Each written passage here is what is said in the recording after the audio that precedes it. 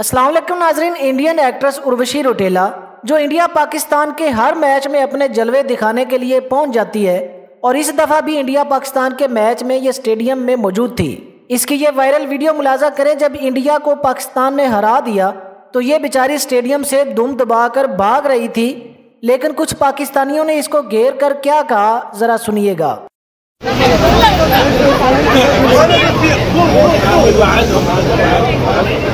Why the brother? Move, move, move, move, move. आगे से बनाना